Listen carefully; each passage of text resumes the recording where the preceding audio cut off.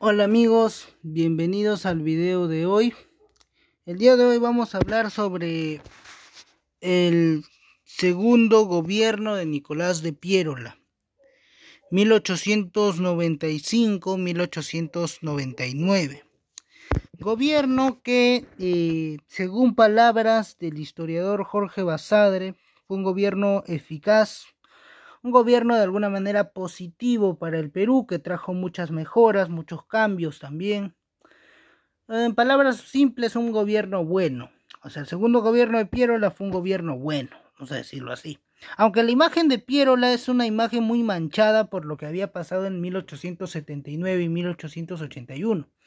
Ustedes saben de que Pierola antes de este gobierno ya había sido presidente, bueno, presidente de facto, porque entró después de un golpe de Estado, eh, él llega al poder en 1879, en su primer gobierno, luego de dar un golpe de Estado al vicepresidente Luis Lapuerta, que había reemplazado en el cargo a Mariano Ignacio Prado, porque Prado se había ido del Perú a gestionar la compra de armas en plena guerra del Pacífico.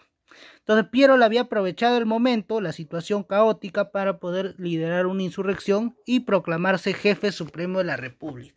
O sea, fue un gobierno de facto, fue un gobierno dictatorial. Y Pierola pues va a instaurar una dictadura. Ahora, esa gestión de ese primer gobierno de Pierola, que fue de 1879 a 1881, fue un gobierno desastroso. Ya el Perú, eh, la crisis en el Perú se agudizó, se agravó la situación de la guerra, el, el ejército chileno va a comenzar la campaña sobre Lima, se va a tomar la ciudad, destruyeron barrancos, chorrillos, miraflores, hubieron... Eh, el, ejército chileno va a terminar ocupando la capital eh, en enero de 1881, luego de las batallas de San Juan, eh, San Juan y Chorrillos. Y vamos a tener pues una ocupación militar que va a durar hasta 1884. Prácticamente hasta ahí, ¿no? Porque el Tratado de Ancón se firma el 20 de octubre de 1883. Ahora, el segundo gobierno de Pierola fue un gobierno que fue muy bien recibido. Pirola tenía muchos seguidores, por si acaso. ¿ah? O sea, Pirola era un, era un, personaje muy popular. Era un caudillo, de hecho. Pirola había sido un caudillo porque él se rebeló contra todo el mundo. O sea, se rebeló primero contra Pardo y después se rebeló contra Mariano Ignacio Prado. Y por último lideró una rebelión contra el gobierno inconstitucional de Andrés Avelino Cáceres. O sea, Pirola había tenido este, imagen de caudillo revolucionario. Lideraba, se, levantaba contra el pueblo, se levantaba y eh, trataba pues de liderar las insurrecciones y pues la figura de Pierola por eso es muy importante, ¿no?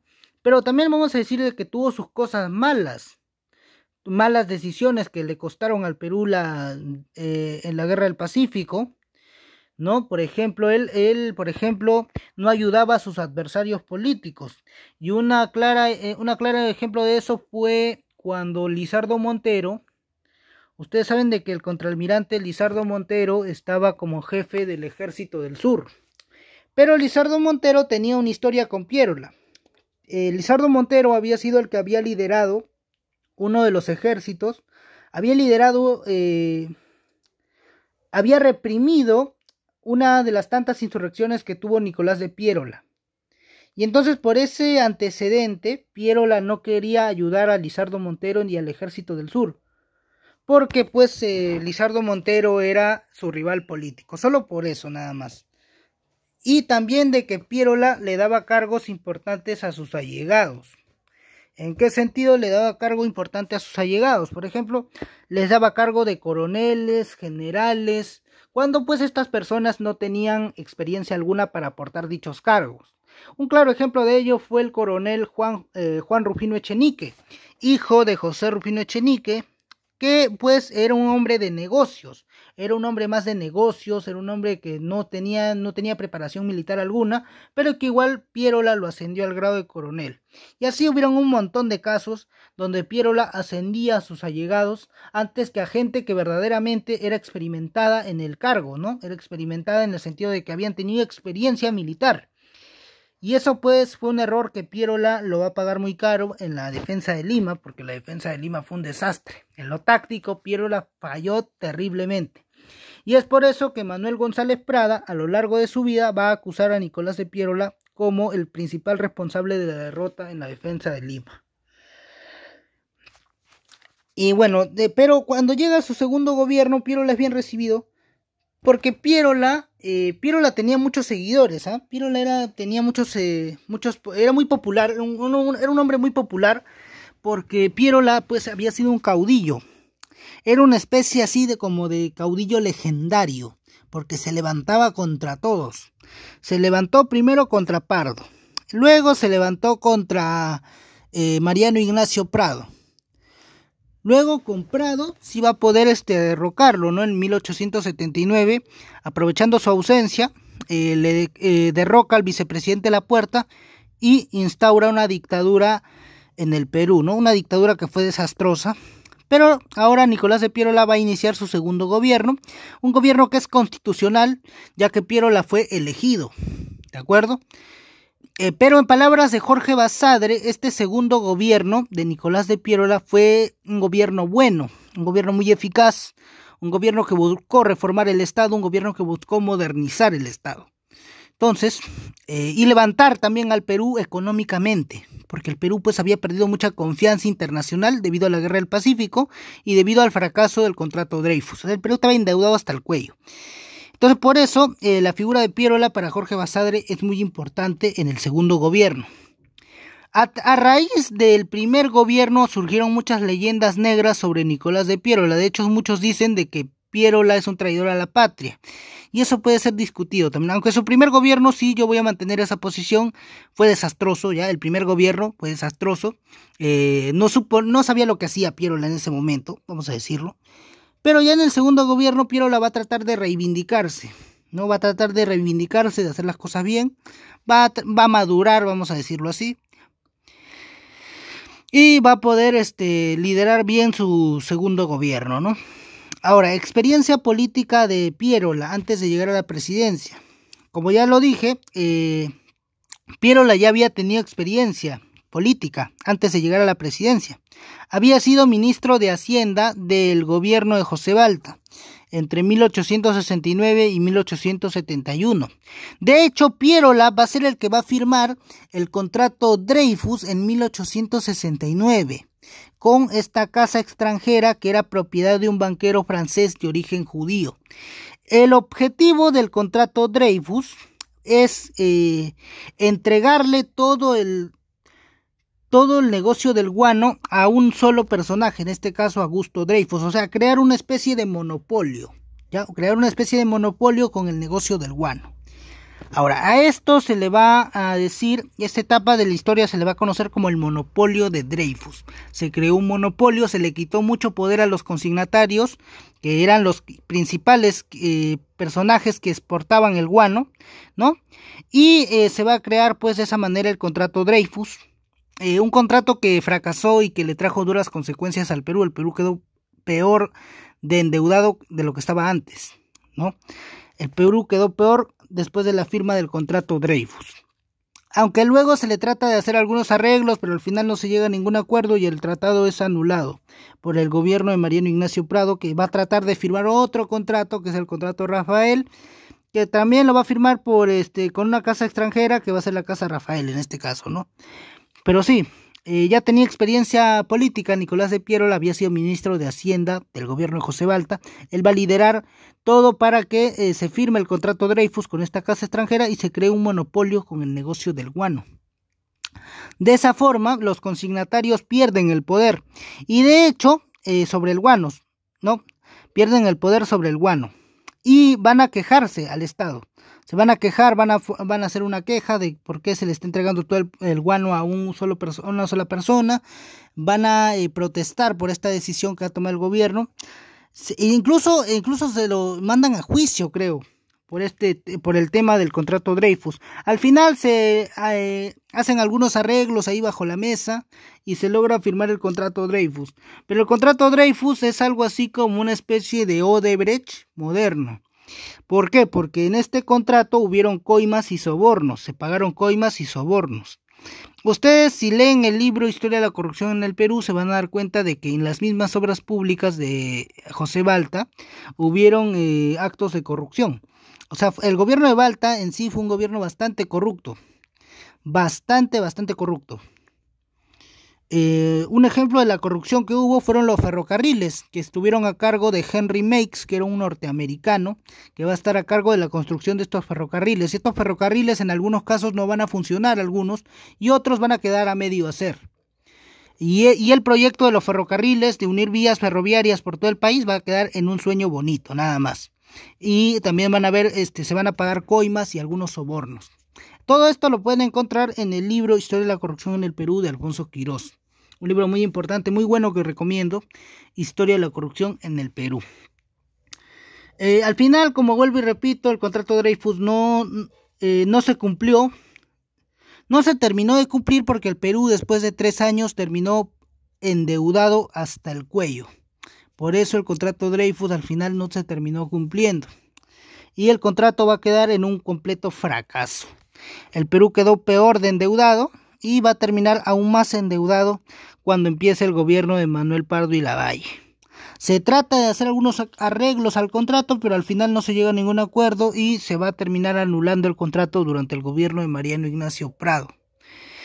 Eh, bueno, ahí está el, la, los, antecedentes eh, los antecedentes de Nicolás de Pierola antes de eh, su llegada al segundo gobierno. Y otro de sus antecedentes, pero ese es un antecedente negativo, es que él llega al poder en 1879 de facto, de forma dictatorial, mediante un golpe de Estado. Él lidera un golpe de Estado, lidera una insurrección contra el vicepresidente de La Puerta, que era vicepresidente de Mariano Ignacio Prado. Mariano Ignacio Prado no estaba, se había ido a Europa a gestionar la compra de armas y por eso Nicolás de Piero aprovechó la situación para... Eh, dar un golpe de Estado en plena guerra del Pacífico. Y de esa manera llegó al poder, aunque él agravó peor la situación y todo esto se va a ver reflejado en la defensa de Lima. Ahora, a Pierola, vamos a decir bien claro, hay una... Eh, Pierola tiene una mala popularidad en el Perú, ya a raíz de esto, ¿no? De la dictadura del 79 y el 81.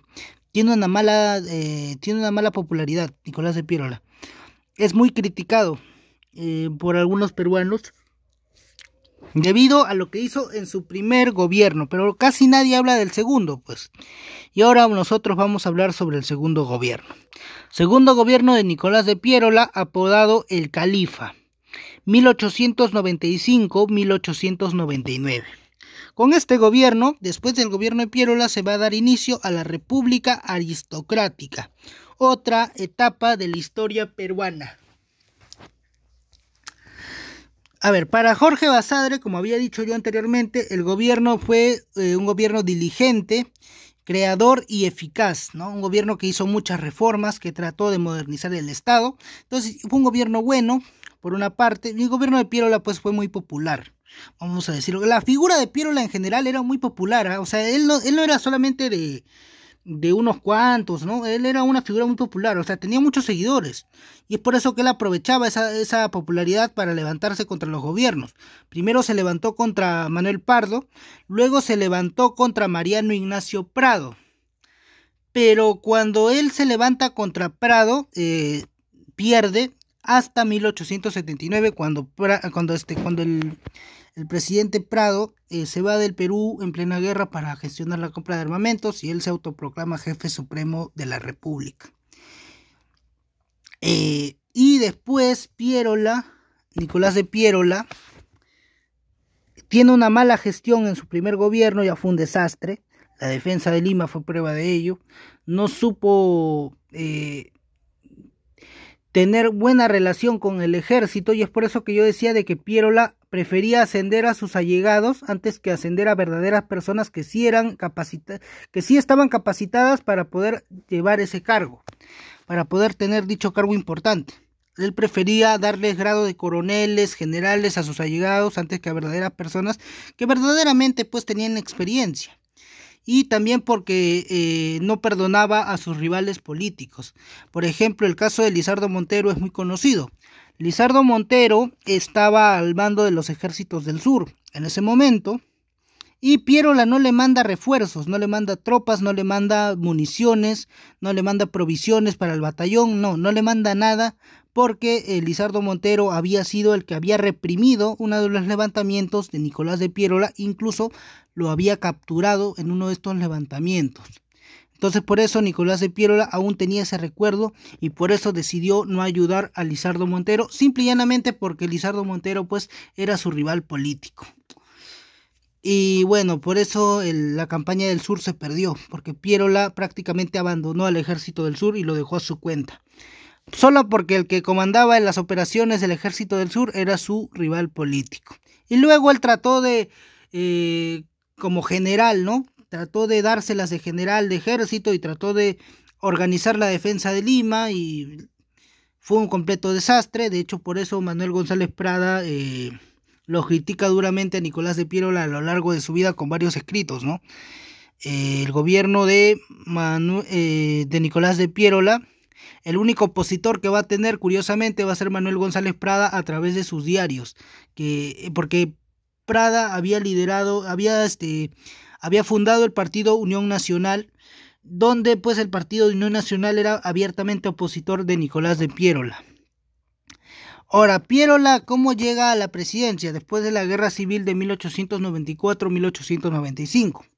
Andrés Avelino Cáceres había, eh, había sido elegido presidente de forma ilegal ¿no? Porque se habían convocado elecciones donde él había sido el único candidato y donde el único partido había sido el Partido Constitucionalista, que era liderado precisamente por Cáceres. Y entonces se forma la coalición nacional, el Partido Demócrata, ¿no? y, el, y el Partido Civilista unen fuerzas para derrocar al gobierno de Cáceres. Ahora, en, este, en esta guerra civil se invierten los papeles porque Pierola aquí va a ser vestido con aureola de héroe y Cáceres va a ser vestido como el villano. ¿Por qué? Porque eh, Pierola llega en el momento en el cual Cáceres había perdido mucha popularidad por el tema de su elección en, las elecciones de 1894. Y entonces cuando se forma la coalición nacional, Pierola tenía mucha popularidad para ese momento, ¿no? Y, él va a ser el que va a liderar pues la revolución contra Andrés Avelino Cáceres. Ahora, Pierola y el Partido Demócrata, el Partido Demócrata se funda en 1884, ¿ya? Y en 1890 el Partido Demócrata, con Pierola a la cabeza, tratan de participar en esas elecciones. Pero Cáceres, eh, al ver de que Pierola tenía mucha popularidad, ¿ya? Porque, o sea, Pierola era un personaje muy popular en, en, sí. O sea, no era impopular, no era que la gente lo odiaba, no, sino que era un personaje que tenía muchos partidarios. Entonces, Cáceres, para evitar de que Pierola participe en las elecciones, crea una ley donde dice de que Pierola está prohibido de participar en elecciones porque eh, él había sido el principal responsable de la crisis política que había sufrido el Perú durante la guerra con Chile, aduciendo de que él fue el responsable de derrocar al gobierno constitucional de Mariano Ignacio Prado y dar el golpe de Estado al vicepresidente La Puerta. En ese sentido, en ese... Eh, por haber dicho eso, Nicolás de Vierola trató de defenderse con su abogado, ¿no? Y eh, el abogado de Pierola va a decir de que entonces si el, si el problema parte por ahí, entonces Cáceres y todos los del Partido Constitucional no tenían derecho a estar en el gobierno, porque eh, Andrés Avelino Cáceres había apoyado a la eh, dictadura pierolista entre 1879 y 1881. O sea, Cáceres había apoyado al gobierno de Pierola en 1881. Entonces por eso Cáceres tampoco podía estar en el gobierno siguiendo esa regla, ¿no? Que había puesto el mismo Cáceres. Pero al final, pues, este, Andrés Avelino Cáceres se las arregla para poder, este, sacar del camino a Pierola y Pierola termina escapando. Se exilia y termina escapándose del país Pierola. Y el Partido Demócrata no participa en las elecciones de 1890. Ya. Pero ya en 1894 la popularidad de Cáceres había bajado por el tema de la elección de 1894 y se va a crear la coalición nacional entre el Partido Demócrata y el Partido Civilista. Dato adicional, el Partido Demócrata y el Partido Civilista eran rivales. Pero aquí en esta ocasión se van a unir, van a unir fuerzas para acabar con el Partido Constitucional, con la hegemonía del Partido Constitucional y con el dominio de los militares en la eh, política peruana. O sea, buscan también, aparte de acabar con la aparte de acabar con la influencia, eh, aparte de acabar con, la, con el dominio y con la hegemonía del, del Partido Constitucional, buscan acabar con la influencia militar dentro del Estado. Y es por eso que se va a dar la coalición nacional, la unión, ¿no? la alianza entre el Partido Demócrata y el Partido Civilista.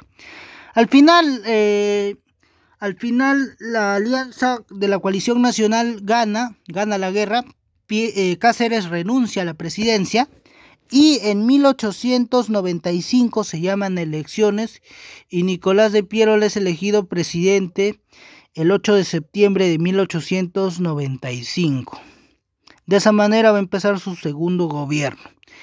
Y los papeles aquí en esta guerra se invirtieron, porque al final Cáceres, el que había defendido al Perú en la guerra del Pacífico, el que había liderado eh, a la resistencia nacional, el brujo de los Andes, que se hizo eh, muy popular en la Guerra del Pacífico por haber combatido a la ocupación chilena durante la resistencia, durante la campaña de la Breña, quedó como el villano.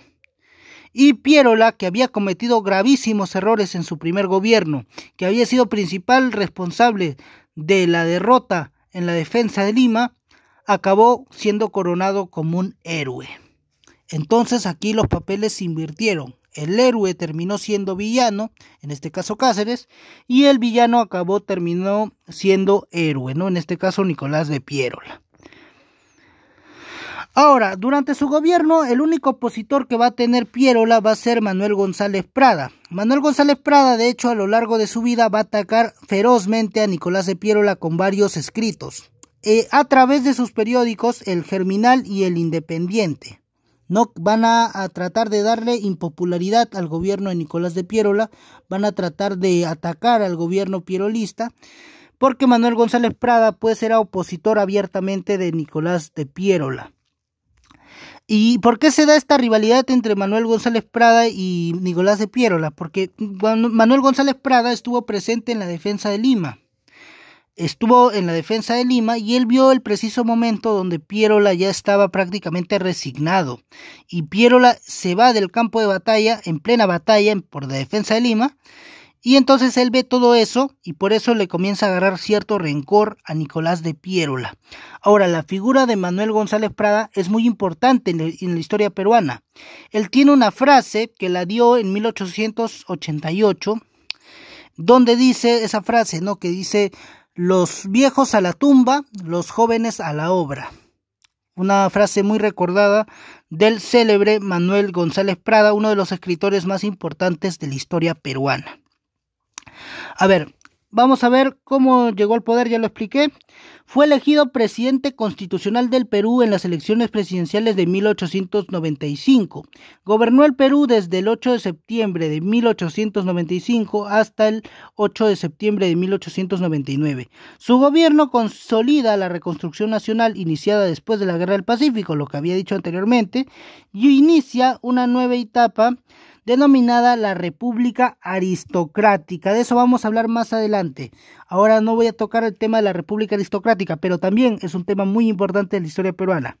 Consolidó, mira esto muy interesante, consolidó la alianza demócrata, civilista que se había hecho después eh, que había formado pues parte de la coalición nacional, ¿no? Aquella coalición nacional que había enfrentado abiertamente al Partido Constitucional que era liderado por Andrés Avelino Cáceres. Eh, se puso las bases para un proceso de afirmación de las instituciones públicas y surgieron nuevos partidos políticos. El gobierno de Pierola tuvo como objetivo central la modernización del Estado. Es por eso que Nicolás de, eh, eh, de Pierola en este segundo gobierno va a hacer cosas muy positivas para el Perú. ¿No? Eh, y por eso también el historiador Jorge Basadre va a decir que el gobierno de Pierola fue un gobierno eficaz, fue un gobierno positivo para el Perú, ¿no? Por sus habilidades como estadista y sus habilidades administrativas también.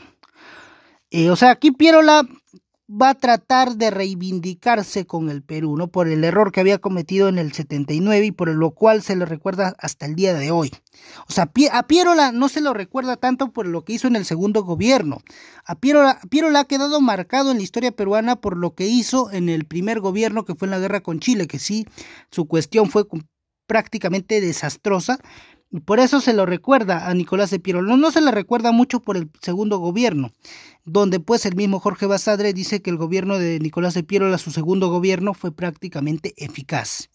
Se buscaron hacer nuevas reformas y se buscó modernizar el Estado. Al mismo tiempo se buscó consolidar la Alianza Demócrata Civilista, que eh, se había formado después de la Guerra Civil de 1894 y 1895, cuando se formó la Coalición Nacional para combatir al Partido Constitucional de Andrés Avelino Cáceres.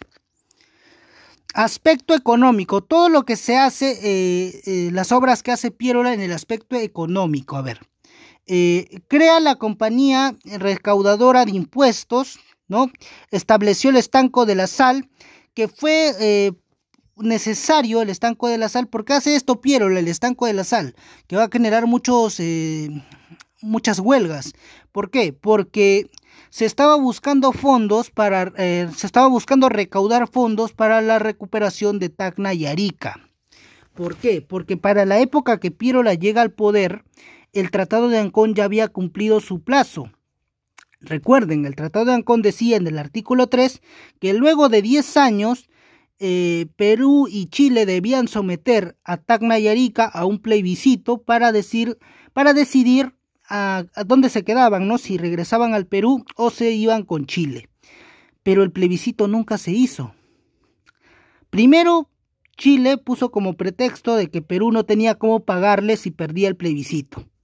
Entonces Pierola, para acabar con este problema, lo que decide hacer es eh, crear una ley del estanco de la sal.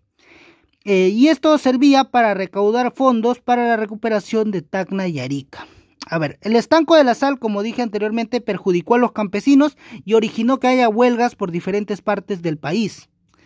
Eh, el Ministerio eh, de Fomento impulsa la construcción de eh, infraestructura, ¿no? El Ministerio de Fomento eh, impulsa, ¿no? La creación de construcción de infraestructura, promovió la inversión privada eh, nacional, pero sobre todo la inversión extranjera. O sea, Pierola quiere que el Perú vuelva a tener prestigio internacional y por eso promueve la inversión extranjera. El Perú había quedado muy desprestigiado después de la guerra con Chile, pero Pierola busca que el Perú vuelva a generar confianza en las inversiones extranjeras, ¿no? Por eso él promueve la inversión nacional, pero sobre todo lo más importante, la inversión extranjera. Eh, grabó con impuestos al tabaco y al alcohol ¿no? Estableció como unidad eh, monetaria la libra peruana o patrón de oro, ¿no? Estableció como unidad monetaria la libra peruana o el patrón de oro. Esto se da el 29 de diciembre de 1897. Se crea el Banco Popular del Perú, se crea el Banco Internacional del Perú y se crea el Banco Perú y Londres del Perú y Londres, ¿no? todo esto se hizo, en aspecto económico, se hizo todo esto durante el segundo gobierno de Nicolás de Piero. Repasemos nuevamente, se crea la compañía recaudadora de impuestos, se estableció el estanco de la sal que va a generar muchos problemas al gobierno de Pierola porque van a levantar a los campesinos, van a haber huelgas, van a haber protestas por el estanco de la sal, pero que era necesario, según Pierola, para recaudar fondos para recuperar Tacna y Arica por el tema del plebiscito que hasta ahora no se cumplía. O sea, que hasta ahora no se cumplía la parte de hacer el plebiscito, ¿no? Porque el plazo para hacer el plebiscito de Tacna y Arica ya se había cumplido. Recuerden, muchachos, el Tratado de Ancón se firmó el 20 de octubre de 1883. Y en una de las, o sea, en, el, artículo 3 del Tratado de Ancón decía claramente de que después de los 10 años, Perú y Chile debían someter a un plebiscito a las provincias de Tacna y Arica para decidir dónde se quedaban, si volvían al Perú o volvían a eh, o se iban definitivamente a Chile o se quedaban definitivamente con Chile. Ahora, este tratado se cumple durante el gobierno de Remigio Morales Bermúdez. Pero en ese momento el Perú todavía no estaba bien parado, o sea, no estaba bien parado económicamente no estaba en condiciones de negociar con Chile, porque todavía seguía la reconstrucción nacional. El Perú no estaba en condiciones para ponerse a negociar de tú a tú con Chile. Y por eso Chile, eso, eso lo aprovecha muy bien Chile, porque de hecho el gobierno chileno le dice a, al Estado peruano que si quieren que haya plebiscito, se debe pues, eh, no tiene dinero para pagarle a Chile en caso Chile pierde el plebiscito. Entonces, eh, por eso la principal preocupación desde entonces de la Cancillería peruana va a ser el tema de Tacna y Arica. Y por eso Pierola, para recaudar fondos, para poder este, reunir el dinero para hacer el plebiscito, va a crear el estanco de la sal. Y va a recaudar fondos para la recuperación de Tacna y Arica. Eh, y el estanco de la sal pues perjudicó a los campesinos, ¿no? Va a generar huelgas, va a generar protestas. El Ministerio de Fomento impulsa la construcción de infraestructura. Eh, se promovió la inversión privada y nacional, pero sobre todo se promovió eh, la inversión extranjera. Y es que Piero la va a buscar también aliarse más con los civilistas. ¿Por qué? Porque los civilistas controlaban la mayor parte del comercio, las principales rutas de comercio del país estaban en manos de los civilistas. Recordemos que los civilistas en aquel momento pues eran el núcleo de la oligarquía peruana. Y es por eso que Pierola trata de ah, ganarse la confianza del partido civilista. Y es por eso que dice en el inicio, el, gobierno de Pierola busca consolidar la alianza demócrata con los civilistas. Eh, estableció la unidad monetaria, eh, la libra peruana, o el patrón de oro, ¿no? Esto se dio el 29 de diciembre de 1897. Se crea el Banco Popular del Perú, se crea el Banco Internacional del Perú y se crea el Banco del Perú y Londres. En el aspecto industrial, eh, se descubre eh, minas de cobre eh, de cerro de, las minas de cobre de Cerro de Pasco. Se inicia un proceso de incipiente de capitalismo urbano se inicia un proceso de, incipiente de capitalismo urbano, se crean las fábricas de fósforo, cigarros, sombreros, ladrillos, losetas y textiles, o sea, obras muy importantes, se crean nuevas fábricas de eh, fósforo, cigarros, sombreros, ladrillos, losetas y textiles, ¿no? Fábricas textiles. Impulsó el desarrollo tecnológico de las haciendas costeñas, eh, caña de azúcar y algodón, ¿no? Y es por eso que yo digo de que se dice también, ¿no? Que el gobierno de Pierola buscó hacer de que el Perú no sea dependiente de un solo recurso como había pasado anteriormente. Por ejemplo, en anteriores épocas el Perú era dependiente del guano, se había vuelto dependiente del guano. ¿Y qué pasó cuando el guano se acabó? Pues el Perú se fue a la quiebra, se fue a la bancarrota. Entonces, Pierola trata de que el Perú no se vuelva dependiente de un solo recurso, sino que le saque provecho a todos los recursos que pueda. Y es por eso que se va a comenzar a ver a otros recursos, como por ejemplo la caña de azúcar, el algodón, eh, se va a buscar sacar provecho de las minas de cobre de Cerro de Pasco, se va a buscar también sacar provecho al caucho. Y aquí se dice, mira, precisamente, se inicia la explotación del caucho. Eh, Carlos Fermín Fiscarralt se convirtió en el rey del caucho, ¿no? Se convirtió en el rey del caucho porque fue el personaje que más provecho le sacó a la fiebre del caucho que había iniciado desde antes ya en el gobierno de Remigio Morales Bermúdez. Se fundó la Sociedad Nacional de Minería en 1896 y se fundó la Sociedad Nacional de Industrias en 1896. Fue un gobierno con muchas obras interesantes, el gobierno de Nicolás de Piérola.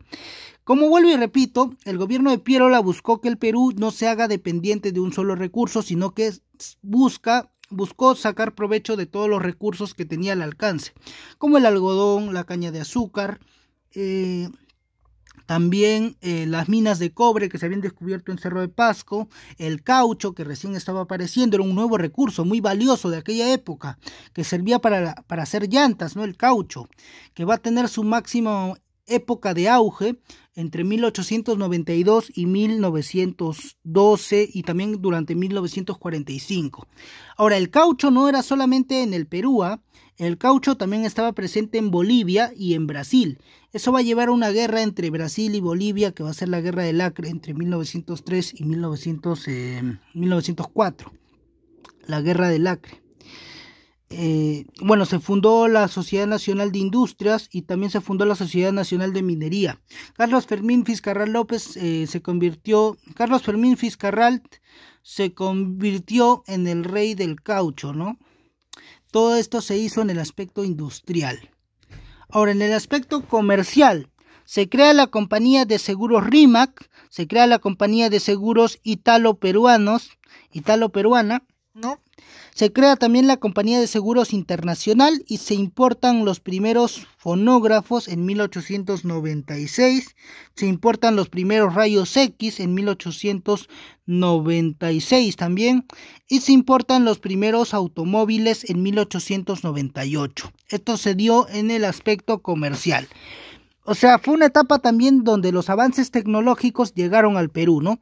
Pues se llegó, por ejemplo, se importaron los primeros fonógrafos, se importaron los primeros rayos X y se importan también los primeros automóviles. Esto ya en 1898. todo esto es en el aspecto comercial. Se crea la compañía de seguros RIMAC, se crea la compañía de seguros italo-peruana y se crea la compañía de seguros internacionales.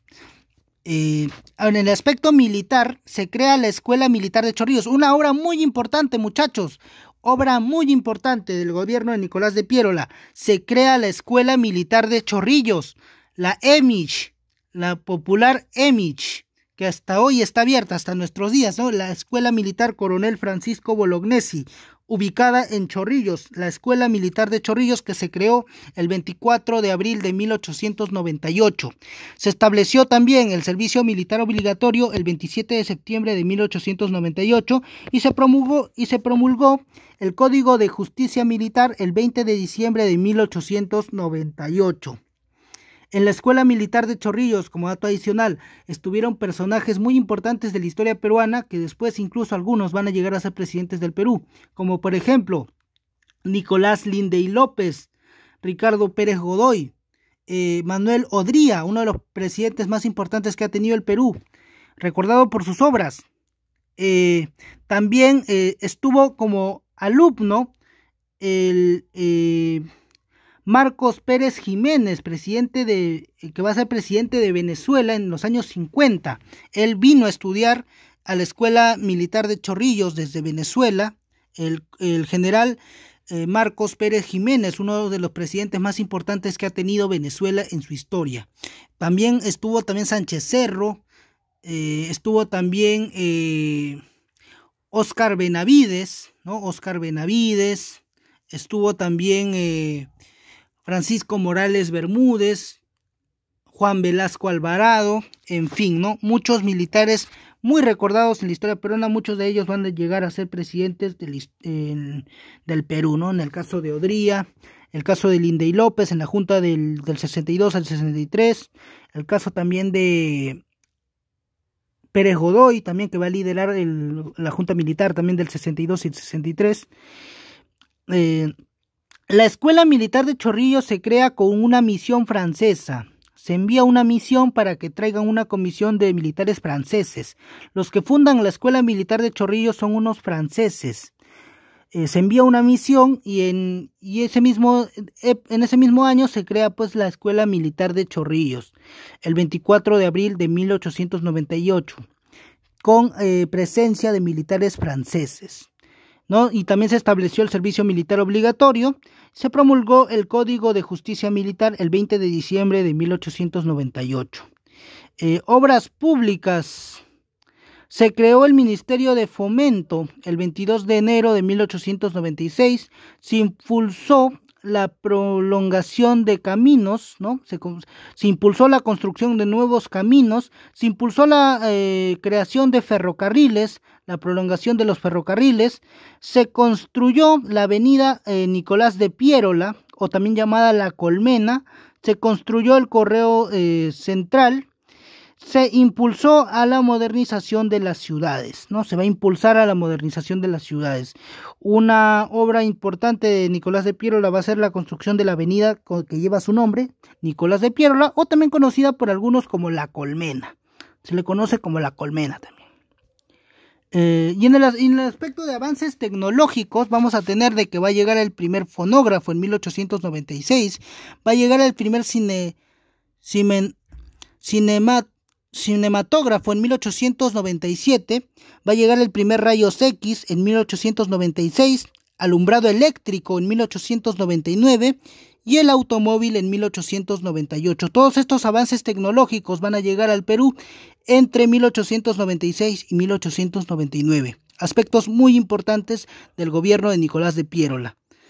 Uno de los primeros que se va a realizar rayos X en la historia peruana va a ser precisamente el escritor Ricardo Palma, un personaje muy importante que es conocido como el mendigo de los libros, porque él fue el encargado precisamente de reconstruir la Biblioteca Nacional que había quedado destruida y prácticamente eh, vaciada y vacía después de que el ejército chileno se llevara varios volúmenes de libros de la Biblioteca Nacional como motín de guerra a Santiago, ¿no? Y es por eso que a Ricardo Palma también se le conoce como el mendigo de los libros, porque él se dedicó a recaudar libros en diferentes países para llevarlos a la Biblioteca Nacional del Perú, ¿no? Para poder reconstruir la Biblioteca Nacional. Eh, también como dice acá, hace su aparición, pues este, ya había hecho su aparición eh, Carlos Fermín Fiscarral López, que va a ser llamado el rey del caucho, ¿no? Que va a sacarle máximo provecho al caucho, ¿no? Eh, Carlos Fermín Fiscarral López que tiene una historia muy polémica, como podemos leer aquí, nacido en San Luis de Guari, en Ancash, en 1862, fue acusado de espía chileno. Él tiene una historia bien interesante. En 1881 él fue acusado de ser espía chileno. Incluso se lo llevó a juicio. Ya a, Carlos Fermín Fiscarral López se lo llevan a juicio y él, y él eh, pierde el juicio porque es condenado a muerte. Pero un sacerdote lo salva y después Carlos Fermín Fiscarral eh, salva su vida y se va a la selva, ¿no? Y se cambia de identidad y eh, se hace pasar por ciudadano argentino, se refugia en Loreto y se hace pasar por ciudadano argentino. Pero eh, Carlos Fermín Fiscarral López tiene esa historia, ¿no? De que en 1881 es acusado de espía chileno, eh, lo mandan a juicio, es condenado a la pena de muerte por traición a la patria, pero un sacerdote lo salva y Carlos Fermín Fiscarral logra recuperar su libertad. Y eh, después se va a refugiar en Loreto y eh, eh, se va a hacer pasar por ciudadano argentino. Una historia muy interesante, la de Carlos Fermín Vizcarral López, que va a ser nombrado el rey del caucho. Otra cosa importante que se va a dar durante el gobierno de Nicolás de Piérola es que en 1898 se va a hacer otra cosa importante del gobierno de Nicolás de Pierola es que en 1898 se da el tratado Billinghurst-La Torre entre Guillermo Billinghurst y Juan La Torre, ¿no? El marino chileno Juan La Torre que e, eso, ese tratado, Billinghurst La Torre, se da en 1898 por la cuestión de Tacna y Arica.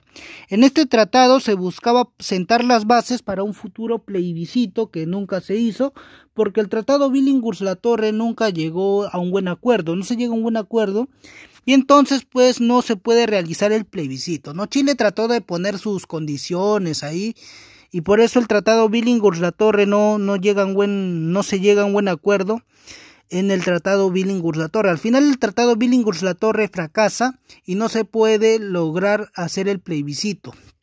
Pero eso es una cosa muy importante que se va a dar eh, por la cuestión de Tacna y Arica. ¿no? Tacna y Arica seguían bajo dominio chileno, a pesar de que ya se había cumplido el plazo estipulado en el Tratado de Ancón, que decía que después de 10 años Tacna y Arica debían someterse a un plebiscito para poder eh, para poder este, decidir dónde se, a dónde se iban a ir, ¿no? si permanecían bajo poder de Chile o regresaban al Perú.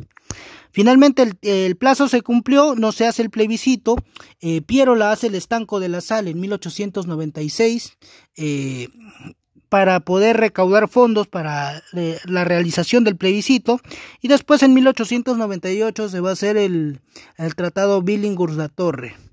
El tratado Billinghurst-La Torre eh, fracasó, ¿no? Y fue eh, hecho por Guillermo Billinghurst, por el Perú, que va a ser luego presidente del Perú, Guillermo Billinghurst, y luego eh, va a ser también derrocado, Guillermo Billinghurst. Y por parte de Chile va a ser el marino, muy conocido por haber destacado en la, en la Guerra del Pacífico, destacada participación por el lado chileno en la Guerra del Pacífico, Juan José Latorre el tratado eh, Billinghurst-La Torre, ¿no? que fracasó rotundamente y el plebiscito no se va a terminar, eh, no se va a realizar nunca, de hecho.